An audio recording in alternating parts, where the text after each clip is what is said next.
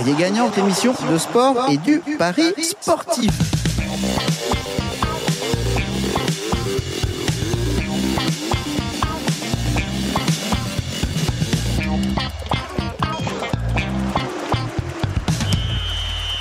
Bonjour à tous et bienvenue dans Parier Gagnant, votre émission du sport et du pari sportif. Euh, bonjour Ben et Damien. Bonjour. Salut, ça va bien, merci. Ouais, moi aussi, pareil.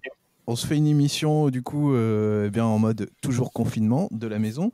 Bah, Il y a quand même pas mal d'infos sportives, même si c'est pas le plus important dans, dans le contexte actuel. On va faire un point dans cette émission sur euh, les dernières infos qu'on a euh, sur les différents championnats, sur les différents sports. Et puis, bah, on va essayer. ben, tu vas essayer de faire, faire le, notre parieur pro comme d'hab, quoi. Je vais essayer. ouais, y a pas de souci. Pas de Dans le contexte, quoi. On fait Ouais. avec. Ok. Ok. On y va. Alors, on va, on va commencer par le, par le foot, peut-être. On commence direct. Euh, alors, reprise des championnats à la mi-juin, vous croyez ça sérieusement possible? Euh, franchement, non, pour moi, parce que ça va être... euh, Non, bah, je pense pas. En fait, tant que la résolution des droits TV, tout ça, sera pas déjà bah, faite, je pense déjà qu'on va perdre du temps. Donc, euh, on est là le 16 avril, quoi, le 17, 16-17 avril. Euh, le temps qu'on prenne une décision, euh, on va attendre encore 15 jours. Ça veut dire qu'on va arriver aux alentours du 1er mai. Si tu laisses un mois de préparation. D'ailleurs, ce matin, les, je sais pas si vous l'avez vu les gars, mais il y avait beaucoup de joueurs qui voulaient pas reprendre avec le, avec le syndicat de l'UNFP, tout ça, qui disaient que bah qu'ils voulaient pas prendre de risques, tout ça. Donc pour j'ai moi, entendu. ça risque euh, d'être compromis euh, la reprise au mois de juin. Bah, c'est. Alors, de toute façon, si ça reprend, ce sera à huis clos. Bon, ça, je pense que tout le monde est d'accord. Ça peut pas, Ouais, du public, ça, jusqu'à mi-juillet. T'as pas le droit de rassemblement et petite pensée au vieille charrue qui est vraiment annulée. Céline Dion ne viendra pas, ne viendra pas cette année. Oh, quelle déception. Voilà. Euh, bon, tant mieux, j'avais pas eu de billets. J'étais un peu vénère. Bref. Ah. Euh, Qu'est-ce que j'allais dire? Ouais, c'est euh, à part en huis clos, je vois pas comment c'est possible. Et puis il y a une re-athlétisation, on va dire, même si apparemment, suivant certains footballeurs pro, trois semaines suffiraient. J'ai un peu de mal quand même. Ah, c'est faux ça. Ouais, j'ai un, peu de mal à comprendre ça. Et, et ensuite, bah, mine de rien, bah, de ce que j'ai vu de Ligue 1, c'est un match sur les trois jours. Je raconte même pas Mm. les blessés ça, c'est sûr et Non, mais surtout, tout ça, ça peut partir en panique dès qu'il y a un cas dans, dans Voilà. une des équipes. C'est ça, bien sûr. Bah oui, parce que les équipes sera l'équipe sera confinée et tous les autres matchs seront forfaits de cette équipe-là. Donc, euh, ça, ça, ça me paraît vraiment très très complexe. Euh, alors attention, hein, l'Allemagne, euh, ça a repris l'entraînement. Les Autrichiens vont suivre. Euh, alors après, comme on en parlait en off, euh, l'Allemagne c'est un peu un cas à part en Europe parce qu'ils ont ils ont, ils ont quatre fois moins de morts que tout le monde. Bon, ok. Euh, ils ont bien géré la chose euh, à- avec des, des tests et tout ça. Enfin bon, bref, on va pas revenir dans les détails, mais euh, eux, j'ai voilà, je si, si de toute façon s'il y a un, un championnat qui reprend, ce sera eux en premier. Donc on, ils vont servir de cobaye. Mais honnêtement, euh, et on en parlera après quand je vois tout ce qui se passe dans les autres sports où euh, petit à petit euh, les annulations des, des, des saisons sont prononcées. Euh, alors oui, certes, le foot, il y a plus d'argent, il y a plus de trucs, mais aujourd'hui, est-ce que c'est vraiment l'argent qui est la priorité euh, dans le monde? Je, je suis pas sûr. Donc euh, il y a, d'autres secteurs d'activité. Je parle du tourisme qui, vont perdre énormément plus d'argent que le football. Donc voilà, c'est à titre perso, je suis un peu comme Damien. J'ai du mal à voir la, reprise des, différents championnats de, de foot, surtout celui de, de Ligue 1. Et toi, Pierre? Ah non, moi, je, je- ça me paraît complètement, euh, complètement déjà déconnecté du, du réel d'envisager euh, de, de- de- de réunir des, des joueurs. euh, c'est prendre des risques. Enfin, moi, tu vois, je pense à. au- je prends le cas de Brest où tu as des, des- des- joueurs. ben, J'ai une pensée pour lui parce que ça doit pas être facile pour lui en ce moment, comme pour plein d'autres personnes, mais un, un joueur comme Johan Cour qui souffre Ouais. euh, de, problèmes de diabète, qui fait ça. ouais. De, de ce public à risque, quoi. Mais comment veux-tu qu'il aille jouer sereinement, l'esprit tranquille, dans, dans un contexte comme ça, quoi? Ça me paraît sûr. complètement fou, quoi. Non, mais c'est sûr. C'est bah voilà, t'as cité l'exemple d'un joueur. Après, tu, tu, enfin, je sais pas si vous vous souvenez, mais euh, bah, si sûrement, mais Denis Lossin, le président de Brest, est- Mm. a été le premier entre guillemets à, à ouvrir sa gueule euh, en disant faut pas jouer la saison. Mais je viens de lire un article hier. Lui, le Bah ouais, ouais, ouais. mais je viens de lire un article hier qui qui me fait. J'explique pourquoi il a dit ça. bah, qui, en fait, Brest et Dijon, ce sont les deux clubs qui ont touché la, leur, le- la, la plus de part des droits de télé qu'ils auraient dû avoir, c'est-à-dire 91%, ils ont déjà eu l'argent. Donc en fait, bah, Brest, si tu veux, par rapport à d'autres clubs qui ont peut-être touché que 50%, bah, nous on a eu le pognon en fait, et Dijon aussi. Donc nous, si la saison se termine, Ouais. les droits de télé, on s'en fout les uns en fait. Et pour, euh, pour euh, un petit peu recontextualiser, Brest, c'est un million et demi de droits de télé, quoi. C'est pas non Ouais. plus. Ouais, euh, dans un- dans un petit c'est budget, comparé- euh, Ouais, quand tu ouais. compares ça à ce que, ce que vont attendre l'OM, l'OL et le PSG, euh, c'est. Ouais, mais après, c'est en fonction des budgets. C'est-à-dire que nous, un million et Ouais. demi, peut-être que pour le budget de l'OM, je vais dire que c'est peut-être 10 millions parce que c'est peut-être un rapport de 1 pour 10. Enfin, ça, ça, ça doit pas être ça, hein, je schématise, mais ou 1 pour 8 ou 1 pour 5, tu vois. Euh, voilà, c'est nous dans notre budget, un million et demi, notre budget il est quoi, 20 millions? Même pas. Même pas 20 millions, si Ouais. 20 millions. Bon, c'est comme important, mais non, mais voilà, c'était une petite, euh, une petite boutade, mais parce que, parce que nous, on a touché l'argent, en fait. Donc, et je dis bravo à Denis Le Saint pour sa gestion. Ça, ça, c'est très très bien d'avoir. je connais bien là son, son, son, son comment j'allais dire, son, son appétence pour le, la gestion et, et c'est pour ça qu'ils ont, ils ont une belle, une belle boîte. Bref, je ferme la parenthèse. Mais euh, ouais, bah écoute, le foot, euh, je crois qu'on est tous d'accord. Alors vous, mettez-nous en commentaire hein, ce que vous en pensez. Euh, alors moi, j'ai vu hein, des, des, des gens qui, qui disaient mais si, il faut Est-ce que, prendre est-ce que- est-ce que vous avez vu le, le plan qui était envisagé pour la, pro- pour la première ligue? Ouais, Euh, ouais, Est-ce que que- le jardinier de, de Wembley euh, est plutôt bien euh, prêt à affronter le contexte qu'on lui prépare là? Euh, euh, Par rapport à Il Liverpool, reste 9 matchs à jouer et ils veulent les jouer euh, tout de suite. euh, tout de suite Ouais. là, au mois de juin, je crois. 9 matchs et en un mois, il faut que ça soit fait. Bah, Ah oui, mais c'est ça, c'est 9 c'est journées. trois jours. Quoi. ouais. Sur les trois jours. 3 fois 10, euh, 30, ouais, c'est ça.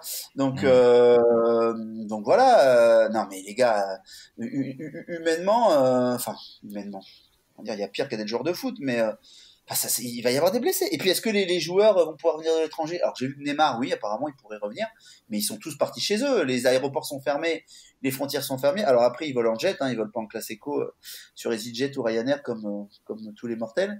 Mais euh, mais, mais, mais voilà, il y a aussi cette question-là. Est-ce qu'ils pourront être tous rapatriés? Euh, Est-ce qu'ils sont pas touchés? Alors j'ai vu que Matuidi et, et Rugani à la guéris. sont, sont guéris, voilà. C'est ça. Euh, Enfin bon, ça va être un bordel sans nom, sérieux. Franchement, je je voudrais pas être à la place des dirigeants. euh, Bah, déjà, le Ouais. foot amateur, euh, c'est terminé. Oui, c'est fini. ouais. Ouais. C'était Jusqu'à la Nationale 2, non, c'est ça? J'ai Hein? j'ai- j'ai un copain, j'ai un copain corse. Je dis salut à Marc et de Bastia. Et pourquoi je vous en parle? Parce que Bastia est leader de sa poule pour monter cette année. Ils sont devant Sedan. Euh, ça va être cet après-midi. Je crois que c'est annoncé. Et je vous l'annonce. Hein. Si Bastia, on leur dit vous montez pas, alors que c'est ceux qui ont le plus de points des différentes poules euh, euh, de, de National. Alors ils sont en quoi National 2 ou National 3 ah, Ouais, peu importe, ça change pas grand chose. Excuse-moi Marc, euh, voilà, je sais plus, mais euh, alors il m'a dit, hein, s'ils montent pas, si on leur refuse de monter, ils descendent pour foutre le bordel, et s'ils montent, ils descendent pour fêter ça. Donc, euh, préparez-vous à Bastia, euh, le confinement cet après-midi, il va être mis entre parenthèses. Voilà, Hmm. je vous l'annonce. Euh, Je vous l'annonce. on peut. On a fait ce, ce petit point sur, euh, sur le foot, donc euh, toujours, euh, bah, comme tous les sports, dans, dans l'expectative. Euh, Il y en a d'autres qui ont décidé de, de carrément euh, bah, de, de- d'annuler, de faire Oui. une saison blanche. Mmh. Euh, c'est, le cas, c'est le cas, par exemple, du, du, du hand. Tout à fait. Tout Alors, France, euh, dans les autres Euh, oui, dans pour les... l'instant, en, en, en- LNH, euh, PSG champion. Euh, Mm. Pas de descente, de montée, Session Sévigné, le club breton et Limoges. Et oui, Limoges n'a pas qu'un club de basket, hein, comme les mauvais hommes. il y a aussi aussi. un club de hand. Qu'est-ce que t'as dit là? Oui, il y a un club de hand aussi, comme toi. j'ai dit. Ouais, mais. mais C'est pas Yann Bonato, le maire de Limoges? C'est qui? Qui? C'est- Non, je disais une connerie. euh, tu me dis Limoges, je pense Yann Bonato. Ah, là Oh là Ah, voilà, ouais. il faut-. Il avoir pas loin de 40 ans pour connaître Bonato. Ouais, bah c'est bon. Ouais. On est dans la tranche. Ou Rigaudot. Ou Rigaudot. ouais. Mais ça, c'était pour Orthez. Ou Dacoury. Ouais, non, en fait, c'est la même génération. D'accord Ouais, C'est la même ouais, génération. Et euh, bah écoute, euh, euh, donc voilà, il y a donc euh, alors ce que j'ai entendu hier par euh, Canaillé, le entraîneur de Montpellier, euh, c'est que de toute façon, à LNH, ils voulaient passer à deux clubs supplémentaires à, dans un an, enfin, pas, pas cette année, mais l'année d'après. Donc, en fait, ils ont juste décalé d'un an le fait qu'il soit deux clubs de plus, en fait. D'accord? Donc, euh, en gros, eux, ça pose pas forcément trop de problèmes.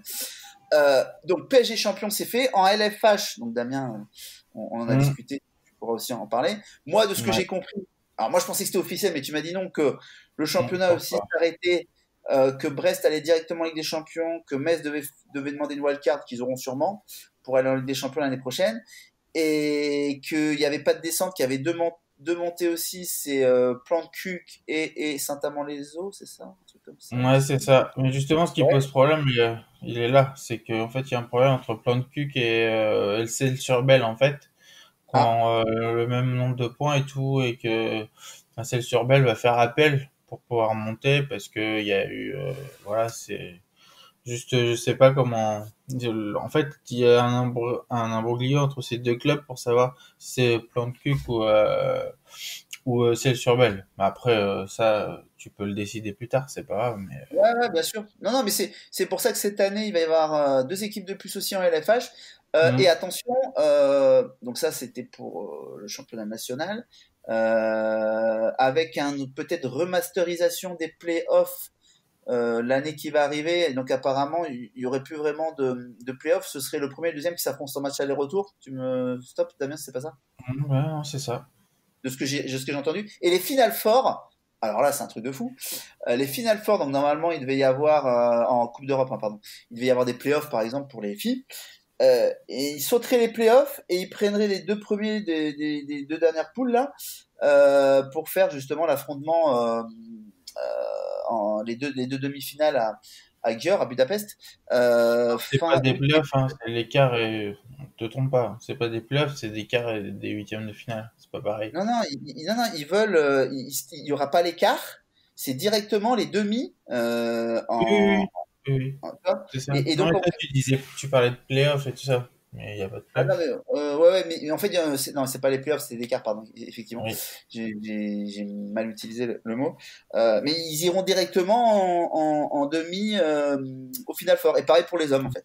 Ouais, avec les effectifs donc de l'année prochaine. Voilà. Ouais. Ce qui est tout, enfin, ce qui est, que, que- voilà, ce qui est bizarre, sachant que nous, euh, il y a quand même un peu de turnover, c'est-à-dire que c'est con parce que Martin Manguet, bah, en gros, on Mm. la reverra plus. Euh, qui encore euh, qu'on verra plus, qui reste pas euh, si, Chenia euh, sera plus là non plus. ouais. Euh, on non, il y aura, il y aura, non, mais il y aura pas, il y aura, il y a pas tant de jeux qui partent, hein. Bah, si, euh, Careto, euh, mais bon, euh, voilà, c'était la quatrième gardienne. Et puis, euh, c'est tout, il n'y a pas forcément de départ, c'est plus un, for- c'est plus un, un renforcement d'équipe. Mais tu penses à ça. Metz. Metz, il y a 50% de l'équipe qui change. Mais prochaine. oui, c'est ça. Et, et, et Rostov va pas laisser passer ça. hein. Parce Ouais, que parce Rostov, que, euh, quand ils ouais. vont pas laisser passer ça. Ça, c'est sûr. Donc, ça, pose des questions, mais en tout cas, voilà, c'est acté euh, les deux championnats nationaux euh, euh, en France, euh, que sont la LFH et la LNH. Pour les hommes, c'est acté. Bon, la LFH, euh, moi je m'avance, hein, mais euh, pour moi ça va être Oui, non, aussi. je pense que ça va se faire aussi, mais euh, faut, je pense qu'ils veulent régler le problème de, des deux, je pense, tu vois, pour être Ouais, bien sûr, bien sûr. clair, net. Mais en tout cas, voilà, ceux qui avaient des paris long terme, euh, comme nous, euh, Damien, désolé. Oui. Euh, Ouais. bah, désolé. Non, si, si Brest est sacré champion, est-ce qu'on va être payé? Non, je je pense pas. Parce qu'il y avait une cote à 6 qui traînait là, Brest champion. Bref. Ah oui, Brest, champion, je parlais, tu parlais de la Ligue des Champions. Le PLT, Ah bah des la Ligue Champions, non, mais Brest champion, parce que là, les championnats sont, c'est sûr, c'est c'est- c'est terminé. Ouais, Euh, Est-ce que ça va être annulé ou payé? Bah là, Dame, c'est moi, on va pouvoir vous dire. Parce qu'on on avait un truc sur, euh, sur Brest, euh, gagne le championnat à 6, c'est ça hein? Ouais, ouais, c'est ça, si, si, si, Ouais, si. ouais, bah, à l'époque. Euh, bah on va voilà parce que j'ai pas j'ai toujours pas mal de questions sur euh, les gens ont peur de perdre leur argent euh, dans les paris long terme mais de toute façon c'est euh, si les championnats sont annulés vous, vous serez remboursé. Enfin voilà vu qu'on n'est Mm. pas arrivé au terme euh, faut regarder les conditions comme j'ai dit chez chaque bookmaker mais euh, vous vous avez parié sur un, un champion sur la totalité des journées sur un championnat. Donc si la totalité des journées ne sont pas faites je vois pas comment le bookmaker ne peut pas vous rembourser votre pari en fait. C'est ça ce qui pourra soit vous avantager, soit ben, vous l'avez dans l'os en fait, comme euh, Dame c'est moi là. Euh, Voilà, bref, ouais. et, la- et la cote Ouais. de Ligue des Champions 51, ben, de Brest euh, gagne la Ligue des Champions. Qu'est-ce qui se passera? Ben, T'en penses quoi, Moi, ils vont l'enlever, c'est obligé, c'est pareil. Ils vont l'annuler aussi. Bon, bah super. Ouais. Voilà, voilà. C'est combien Oh, dans part tous les bien. cas, de toute façon, avec tous ces, ré- ces histoires de changement de règlement euh, en cours de route, euh, ça va faire du boulot au tribunal arbitral sportif et au comité Oh là là, oui. international olympique. Ah oui, ça c'est sûr.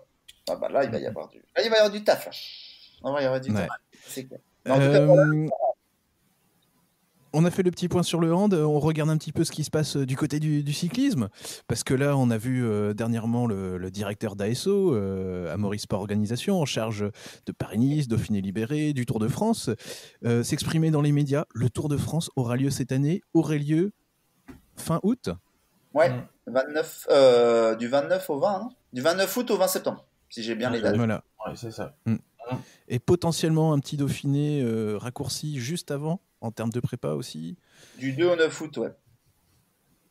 Du 2, du 2 au 9 août avec un, un format raccourci, tout à fait, ouais. Mm.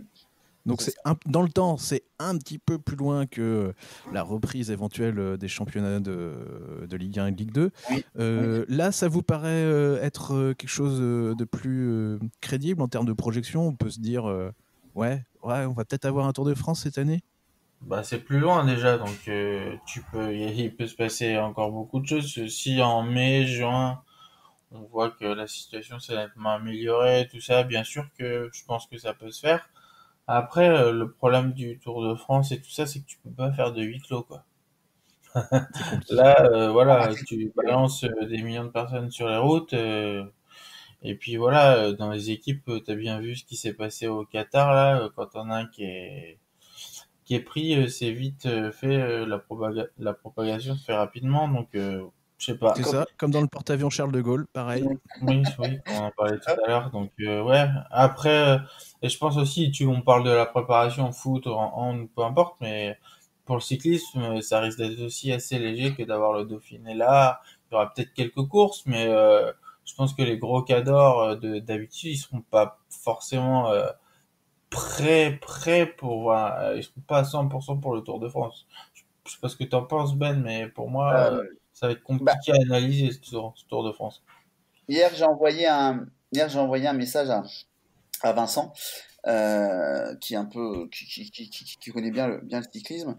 Euh, D'ailleurs, il faudrait que j'envoie le message à, à Rémi, euh, parce que tout de suite, quand voilà, j'ai appris que le Tour de France allait effectivement avoir lieu, mais attention, hein, ils ont dit le 29 ou le 20 septembre, mais si l'État décide que que ben non, euh, ils le feront pas. Enfin, c'est toujours pareil, c'est l'État qui a le dernier mot. Euh, là, Mhm. comme dit Prud'homme, ils l'ont poussé au maximum. Euh, Et de toute façon, ça correspondrait à la rentrée des classes. Donc, si tu fais la rentrée des classes, tu peux faire le Tour de France. Enfin, c'est ce que j'imagine. Euh, C'est ce que j'imagine. Euh, Oui. et, euh, et moi, tout de suite, bah, je me suis posé la question. Euh, et là, je mets ma casquette de, de parieur. Euh, tu changes les dates. Donc, pour moi, il va faire moins chaud, Mhm. déjà, sur le Tour de France. Donc, ça va forcément favoriser bah, certains coureurs qui n'aiment pas forcément la chaleur. Ok. Ça va laisser plus de temps à Froome pour revenir en forme, parce qu'il était mal en point. Donc Oui. ça va lui aussi laisser plus, plus, de, plus de marge. Et je, je, je le voyais absolument pas gagner le prochain Tour de France, mais absolument pas. Bah là, mais non, point d'interrogation. Et est-ce que ce serait pas le Tour de France de toutes des surprises? Parce que quid des, quid des préparations de, des coureurs? Tu vas pas, les, les gros favoris, mais s'ils se préparent pas super bien, parce que moi, moi honnêtement, j'ai bah, depuis que je suis petit, je regarde le cyclisme avec, euh, euh, je, je- voilà, écouté aussi la radio avec Guimard, avec des gens comme euh, Chapat, avec des gens comme, euh, voilà, là, là, je sors la, je sors le livre d'histoire. Hein. Chapat, Ouais. Bernard Thévenet, Patrick Chen, c'est ça T'as regardé les étapes, les rediffs sur l'équipe 21, c'est ça? Ouais. Bah, honnêtement, je regarde quelques-uns parce que j'aime bien en fait. Non, mais sérieux, je, je trouve ça, je trouve ça sympa qu'ils re- qu'ils rediffusent des, des grandes, des Ils grandes ont rien d'autre à mettre, hein, de toute façon. Ouais, voilà, c'est ça. Mais, mais, mais moi, j'ai toujours entendu dire que pour un coureur pro, rien ne vaut le nombre de kilomètres que tu fais. Et il faut en faire en fait. Il faut en faire pour être au top. Et là, je suis désolé, mais euh, là, j'ai le calendrier sous, sous les yeux, sous les yeux, pardon. Euh, tu recommencerais la première course avec le Tour de l'Ain du 30 juillet au 1er août. Après, t'enchaînes avec le Critérium du Dauphiné, il dure 6 jours. Après, tu as l'Arctic Race en Norvège, le Tour du Limousin, le Bretagne Classique, le Championnat de France de Plumelec, le Tour du Poitou-Charentes, et t'enchaînes avec le Tour de France. Non, mais Euh, est-ce que tous ces coureurs, tous les coureurs étrangers vont aller sur ces courses-là? Bien sûr que non. Ben non, mais c'est pour ça, je vois pas comment euh, tous les coureurs, euh, alors on a beau me dire hein, qu'aujourd'hui on fait des stages en, en, en haute altitude et tout, il n'y a pas de souci. Mais moi, on m'a toujours dit, et, et j'ai été élevé euh, comme ça en regardant le cyclisme, que euh, il fallait faire un nombre de kilomètres et, et qu'il y a des et qu'il y a des, des, des coureurs qui, alors, dans leur préparation, ils font un certain nombre de kilomètres, ils arrêtent parce qu'en gros, pour finir comme une bombe à la troisième semaine du Tour de France, quoi. Tu vois? Parce que la, la préparation, ils vont la finir la première et la deuxième semaine du Tour, en fait. Oui, oui. cette année, vu quand je vois les courses, je vois pas comment ils vont faire le nombre de kilomètres requis en fait. Enfin, j'ai- du mal. Alors, je suis pas le meilleur spécialiste de France euh, de cyclisme, et c'est pour ça que j'ai demandé à, à certaines personnes si- s'ils pouvaient m'éclairer.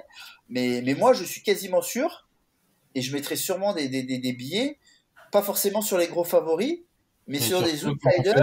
avant. peut-être une meilleure préparation en fait, tu vois. Ouais. Voilà. Oui, Aujourd'hui- oui, tu vois des, tu vois des garçons comme Bard et comme Alaphilippe, tout ça, ces courses-là, ils vont pouvoir, ils vont les faire. euh, le Tour de Ah oui, voilà. Et, Ah et tout j'ai- ouais. Ah du mal à les... j'ai du mal à voir un un Bernal ou un Quintana aller faire l'Arctic Race quoi. Je sais pas en Norvège ils la font. Jamais. mais non, attends, stop, je te stoppe parce que comme il est dans une équipe euh, française, euh, comment il s'appelle euh, Quintana, mais non, oui, oui, exact, exact. Ouais. Pérugin, lui, par contre, il sera peut-être sur ces courses-là, peut-être. Et, et, Ouais. et, et- voilà. Et, et peut-être que les grosses écuries comme euh, comment ils s'appellent ceux-là, Ineos, euh, Oui. peut-être qu'ils vont mettre des trucs au point. Euh, Lego, hein, pardon, des trucs Lego au point pour euh, justement euh, avoir une meilleure préparation physique que les autres et peut-être encore une fois écraser le tour parce qu'ils auront mis des, des protocoles en place. C'est, c'est voilà. Je pose la question. Moi aujourd'hui, j'ai pas la réponse et puis on a le temps euh, pour fin août, mais euh, je me dis voilà, est-ce qu'il y aurait pas des, des petites choses à, à, à tenter suivant les préparations des, des, des coureurs? Est-ce qu'il y a des coureurs qui vont être touchés par le Covid? Si tu un coureur qui est touché par le Covid, je vais dire au mois de juin, au premier de sa préparation, tu peux l'oublier. Hein tu vois? Ah ouais, c'est clair, ça marche. il va Ouais. falloir se tenir au courant de, de, de choses comme ça. Alors, euh, moi, j'adore. C'est c'est là que ce qui est super intéressant. Euh, prendre des infos, savoir un peu euh, voilà qu'est-ce qui peut se passer et tout ça. Mais euh, ouais, ça, ça va apporter un, un piment supplémentaire, euh, je trouve, à, à, à ce tour. Voilà. Donc, à voir. À voir s'il a lieu. On fait un petit point rapidement sur, sur le rugby, Ben. Comment ça Oui. se passe du côté de, de l'Ovalie? Eh ben, écoute, le rugby, si tu veux, c'est euh, un peu pareil que, que le football. Ils, ils veulent finir le, ils veulent finir le, le- le championnat.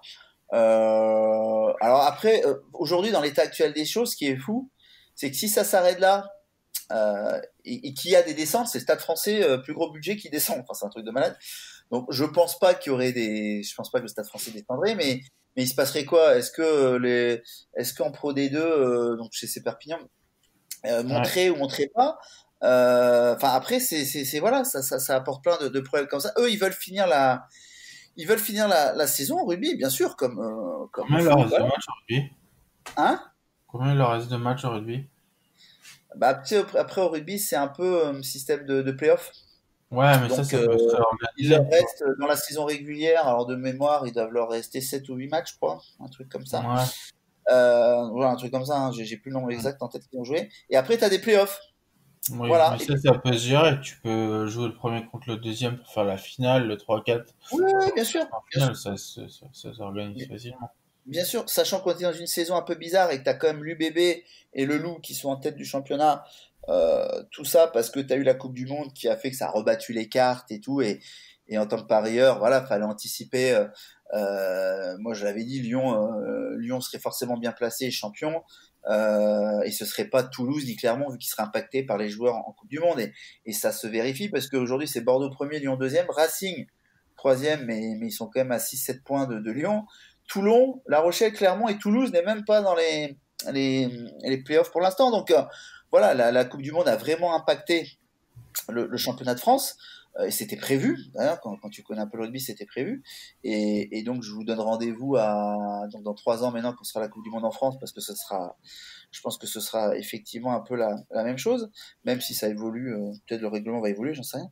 Mais euh, mais en tout cas, ouais, aujourd'hui c'est stand-by, c'est c'est pas c'est pas arrêté. Voilà, ils sont toujours en train de d'essayer de trouver des solutions. Euh, mais à l'inverse du, du, du, du basketball, là, on, on va en parler après, où eux aussi s'arrêtaient comme le handball, tu vois. Donc, euh, le rugby, pour l'instant, je peux pas vous en dire plus parce que voilà, c'est pas annulé. Ils réfléchissent à, à aussi à, à une reprise. Tu disais, bah, euh, tu l'as un petit peu évoqué, la, la NBA aussi. Et...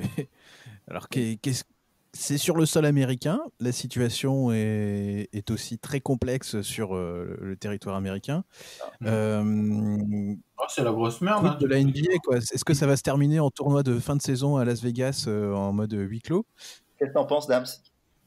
Ouais, je pense que déjà, on va déjà essayer de régler les problèmes qu'il y a maintenant parce que eux, ils sont au tout début, pas au tout début, mais là, euh, voilà, ça a été tellement mal géré au début que, voilà, tu sais pas pendant combien de temps ça peut être arrêté. Là, aux États-Unis, nous, on a ça, va être arrêté pendant deux mois, deux mois et demi. Je parle du euh, confinement, tout ça, mais je pense que aux États-Unis, avec ce qui se passe maintenant, euh, tu peux essayer de, un confinement qui est beaucoup plus long avec le nombre de cas déjà qui a été, été recensé, le nombre de morts, tout ça. Après, ouais, je sais pas Honnêtement, euh, une saison, c'est combien? C'est 84 matchs, c'est ça? À peu près? 82.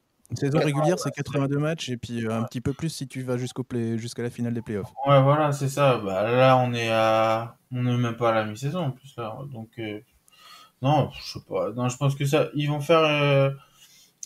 La, la, différence, c'est que tu peux, je pense que là, tu peux faire une saison blanche pour la NBA parce que les budgets, ils changent pas forcément d'une année à l'autre. Et après, par contre ça, je suis pas au courant, par contre, comment ça se passe pour les droits de télé et tout ça, mais euh, je pense qu'ils ah bah, vont être obligés de s'arrêter aussi. Ça, ça, foutra la, ça foutra la merde, et moi, je crois pas à un truc à Las Vegas, hein. enfin bref. mais, euh, non, non, la, bon, et puis la NBA, euh, avant que la prochaine saison reprenne, ils ont le temps, hein, parce que ça reprend en, octobre-novembre. non, en, France, par exemple, donc la, la LF, la LFB, c'est, la LFB pour les femmes, c'est arrêté. Et euh, un petit euh, un petit peu de nationalisme breton, Landerneau va faire sa première Coupe d'Europe euh, chez les femmes. Ouais, ouais, Et quand même à souligner, parce que Landerneau, c'est une ville, combien d'habitants? 10 000 15 15 Ouais, moins que ça, ouais, 10 000, oui. ouais, moins, Donc, Coupe d'Europe l'année prochaine, parce que voilà, le, le, le, championnat est gelé. et, première division, c'est tout. Ouais, c'est ça. et, redistribue maintenant les. Donc il y, a eu des, euh, ils ont donné en fait les, suivant les places, les, coupes d'Europe, donc euh, ils vont la faire, donc c'est très bien au niveau local on va dire. Et chez les hommes, ben pour l'instant c'est suspendu, mais bon, j'imagine bien que ça va suivre le même le même truc que le handball, que ça va être que ça va être annulé. Après la différence de, du football, c'est que ces sports-là c'est en salle, c'est en indoor. Donc c'est peut-être un paramètre supplémentaire qui font que eux ils s'arrêtent. Mm. Euh, voilà, et, pas les sports de plein air comme le rugby et le foot qui pour l'instant n'ont pas arrêté. C'est peut-être aussi qu'une histoire de pognon parce que le rugby et, le foot, à mon avis, génèrent plus d'argent que le basket et le hand. Non, je pense. Ah bah, clairement. Il n'y a pas de droit Si on parle de NBA, là par contre, on est sur une autre planète. Oui, oui, bien sûr. Bah, les, sports, américains, on est sur une autre planète. On, est bien d'accord, mais euh, et pareil, hein, si la NBA reprend, euh, il y a des équipes ou des joueurs qui sont un peu plus âgés, euh, euh qui vont avoir, je pense aux Los Angeles Lakers, qui, qui vont peut-être avoir plus de mal à se remettre en route, alors qu'ils étaient sur une bonne dynamique. Des équipes plus jeunes bah, vont, vont saisir la balle au bon, comme on dit, et, et vont pouvoir refaire une remontada. Euh, ouais, franchement, euh, ou alors t'arrêtes et puis bah tu, tu, tu commences les playoffs avec le classement actuel. Franchement, il y a tellement de solutions. Moi, j'ai pas la réponse. Eh ben, on, verra ça euh, au fur et à mesure. On a déjà fait quasiment une demi-heure sur euh, finalement sur pas grand-chose qui se passe en ce moment. je sais pas ah, Et le volleyball, pareil, c'est terminé, je crois. Oui, volleyball, bah, c'est terminé. C'est Rennes qui est champion, je crois, chez les hommes. Euh, et, et, et, au niveau et chez les femmes, chez les femmes, malheureusement, je crois que Quimper ne montera pas. Ils étaient bien placés cette année je vous en avais déjà parlé les années précédentes, des fois de Quimper, on avait même fait un de Paris là-dessus. Euh, volleyball, elles étaient descendues euh, l'année dernière ou il y a deux ans, et elles devaient, normalement, je pense qu'il y a potentiel pour remonter, elles étaient bien placées, mais je crois qu'elles ne vont pas monter. Donc euh, voilà aussi pour le volleyball, euh, c'est euh, bah, acté, voilà, c'est terminé aussi. Donc mine de rien, quand tu réfléchis, euh, il n'y a plus, il y a plus grand chose qui peut reprendre. Le tennis aussi, il n'y a plus de tournoi jusqu'à fin juin, je crois. Bon, ben voilà. Euh, petit à petit, ça s'arrête quand même. Par mmh. ce qu'on peut constater. Hein. ça s'arrête. Donc, euh, à Et bah voir. oui. Et petit, petit, petit à petit, notre émission va, va s'arrêter aussi. Peut-être on fait juste une petite parenthèse là. euh, comment vous faites les gars pour euh, combler votre manque de sport à, à la télé? Euh, Eh ben, bah, Eric, j'en t'as la solution, je crois. Ouais. Mais euh, je voulais déjà savoir vous. Qu'est-ce que vous, qu'est-ce que vous faites? Bah, je m'occupe Bah, de mon fils. Oui, dire. déjà. Oui, non, mais à un moment. Euh, moi, je regarde. euh, je, je, je- ça m'arrive de regarder euh, l'équipe euh, TV. euh, donc déjà c'est gratuit, c'est bien. euh, pour revoir quelques étapes du Tour de France. Bon après faut, faut aimer, hein, mais parce qu'il y, a- y y certaines étapes je me souviens plus de l'arrivée. Bon il y en a que je me souviens donc c'est chiant, mais euh, il y en a que je me souviens plus. Donc, putain mais qui avait gagné à cette époque L'autre jour je regardais c'était Ulrich avec Björn Rich en en coéquipier de luxe. Enfin putain, ça, ça remonte ça aussi hein, avec Viran. Attends, c'était 97. C'était 97. C'est là, là où il gagne le Tour de France. Ah ouais, c'est ça. Mais ça remonte quoi. Enfin, je veux dire, euh, je me souvenais plus de l'étape que tu avais diffusée qui avait gagné en fait. Donc, en fait, quand c'est comme ça, c'est intéressant de regarder parce que t'as comme un suspense en fait. Tu sais plus Mm. qui a qui a qui a remporté l'étape. Mais euh, donc, je regardais ça. J'ai dû regarder un un France-Argentine. Voilà, d'il y a il y a pas longtemps là. Bah oui, Euh, forcément. d'Mbappé et tout. Je, je m'en lasse pas de ce match-là. J'ai revu aussi Platini. Il y avait un. Bah, c'était hier. J'ai vu quelques images de France-Yougoslavie, non? Avec Euh, un. France-Pays-Bas? Non, France-Yougoslavie avec un hat-trick un de, de Platini. Très beau. Magnifique. ce- ce- enfin, je- En fait, ce qui est fou, c'est que, bon, vous savez, j'ai la quarantaine. D'ailleurs, 41 ans dans deux jours et euh, mes 10 ans de mariage aujourd'hui. Oui, je prends un truc de vieux. Euh, bon, on s'en fout, hein, on est d'accord. Mais bon, je, le signale. Je, je, je le signale, voilà.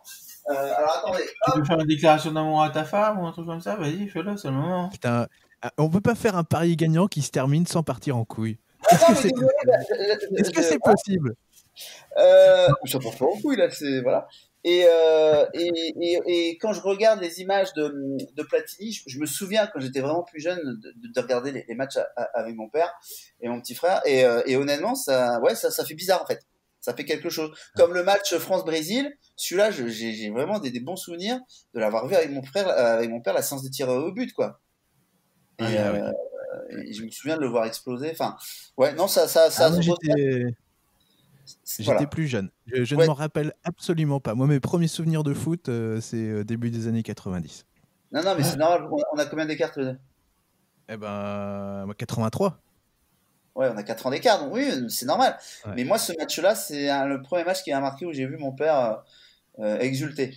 Enfin, franchement, voilà. C'est donc voilà, ça, ça ressasse des souvenirs. euh, euh, mais mais on fait un peu de, de, de, de- de teasing. Mais toi, t'as un super Ah site. ouais, ouais. bah, mais je pense que pas mal de, de- de followers de Paris Gagnant euh, suivent euh, ce site-là. C'est euh, footballia.net.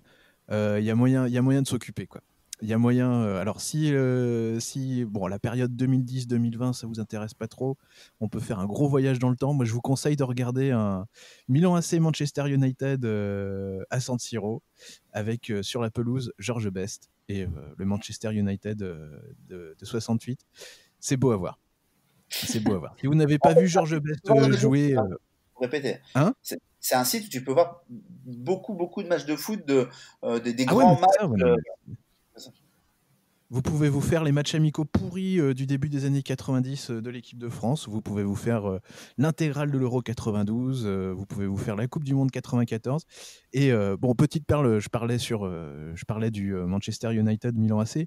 Au commentaire, c'était Michel Drucker. Et ça, ça, ça, ça, Ouais. vous, ça- ça vous fait prendre conscience du monument, quoi. Ouais. Non, ça c'est fou. Et puis bon, il y a quelques matchs où tu peux réécouter le duo mythique Roland, euh, Roland Larquet, quoi, forcément. Ah, mais c'est ça. Je me suis fait le, le France-Bulgarie. Monsieur Foot, vous êtes un salaud.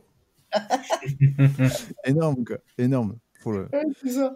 Ah mais, ouais, mais Ouais. c'est fou. Bah, dites-nous, fou. eh, dites-nous en commentaire s'il y a des matchs, euh, vous, qui, qui, qui, qui- qui vous ferait plaisir de, de, de revoir, quoi. Et puis comme ça, on, on les regardera là. Moi, la Pour la finale de ou d'ici Champions 15 de jours. Liverpool quand il remonte, euh, quand c'était contre qui déjà? Ah oui, contre le Milan AC Contre le Milan, ouais, quand il remonte celle-là, j'ai 3-3. Ouais, celle-ci. Ah ouais, ce match-là, il est mythique. euh, alors pour, euh, pour le petit côté brestois, moi je vous conseille de, de regarder un stade brestois Marseille de 91 qui était diffusé sur Canal avec Eric Bénard et, euh, et, euh, et Bietri au, au- au commentaire. Et euh, une séquence magnifique euh, où Carlos Moser pète littéralement un câble et rentre dans les tibias d'un joueur brestois les deux pieds en avant avec Ouais, une séquence euh, magnifique franchement à, regarder à découvrir Carlos Moser, le boucher. ah ouais non mais Quand Mais en face quand de tu- t'arrêtes. Tu passes la balle Hein et tu cours Ouais. vers de l'autre côté. Tu changes de trottoir, ça c'est sûr. Ah, mais attends, eh, Carlos Moser et Basile Boli, quand même, paye Ah ta ouais. défense centrale. Quoi. Mm. Ah bah c'était c'était c'était c'était solide, c'est sûr que ouais. Et Dimeco, Dimeco, Carlos Moser, mais putain. Ouais. Attends, je, euh, je crois que la défense sur ce match-là, c'était Amoros, euh, Amoros qu'on a revu d'ailleurs sur pas mal de matchs là, de l'équipe TV, là, où il, est- il Oui. faisait partie de la campagne de 82 et 86, euh, et puis de l'Euro 84 aussi. Euh, où on le où donc Amoros, Dimeco, Boli et Moser en défense euh, du côté de l'OM en 91. La Comment ils ont fait pour, comment ils ont fait pour perdre la finale contre l'Étoile Rouge à Paris quoi. Ouais. Ah, Ouais. tu refais pas les matchs, hein, c'est sûr. hein. Ah sûr. bah si on refait les matchs, on a que ça à faire. Non, mais je veux dire, Alors, tu, je vois tu peux les revoir, mais refais pas. C'est ça. Euh, Bon, bah voilà. Bah, vous nous dites en commentaire si, euh, s'il y a des perles, euh, selon vous, à, à regarder. Moi, je vous conseille aussi un, un France-Belgique euh, de 92, où il y a une papinade, un super but de jeu- Jean-Pierre Papin euh, en fin de match, sur un débordement de Basile Boli, une cacahuète, là, magnifique, là, une papinade, quoi. Magnifique. Contre la Belgique, bon, à, à- à cette époque-là, il devait y avoir Enzo Schifo, non? Il y avait Ouais. Il y avait Michel Prudhomme dans les buts. euh, Ah ouais. c'est... Ouais, Oh ouais, ouais. Aujourd'hui, je prends un coup de vieux de fou. Quoi. Bref. Et Euh, ouais, c'est et fou. France- France-Espagne et France-Italie euh, 2006 avec les deux matchs de ouf de Zidane aussi. Ça, Ah, beau, le. France-Brésil. Ouais, celui-là, celui-là, rien pour la beauté du geste, il est magnifique. Moi, j'ai revu aussi un, je sais plus quand il était celui-là, mais il y a eu un France-Portugal où il s'est baladé sur le terrain. Oh, je sais plus quel match c'était Euh, celui-là. Euro De 2000 l'Euro. Hein Euro 2000, demi-finale Ouais, c'est ça, voilà. Oh là là là, mais quand tu regardes le truc, enfin, c'était Ouais. l'impression qu'il était sur le terrain. Quoi. Ah, il, il, il est pas mis dans le top 10, je pense, des, des- des grands matchs de l'équipe de France. Euh, on pense souvent à d'autres matchs. Mais ce Il fait France-Portugal-là qui part en couille à la fin du match avec euh, Abel, là, vous vous rappelez, le, le Portugais là, qui avait les cheveux Ah en blond là, et la petite mimine dans la surface. euh, il est beau aussi ce match. Ouais. Ouais, c'est pour ça, je j'ai revu des, des images. donc. Bon, il y a de quoi faire. Foot Balia, foot et Balia, BA de Zelia. Pour ceux qui ne connaissaient Ouais. pas, allez faire Voilà. un tour. Ouais, ouais, allez faire un tour. Bon. On termine Voilà. cette émission de Paris gagnant, les gars. On se donne Ouais. rendez-vous la semaine prochaine ou dans 15 jours. On fait au, en fonction de l'actualité, au fil de l'eau. S'il y a des trucs de neuf à vous rajouter, on vous le dira. Voilà. Eh ben merci les gars. Salut. Merci à tous. À plus. Salut, ciao, ciao. Allez, à bientôt. Ciao. Parier gagnant, émission de sport et du pari sportif.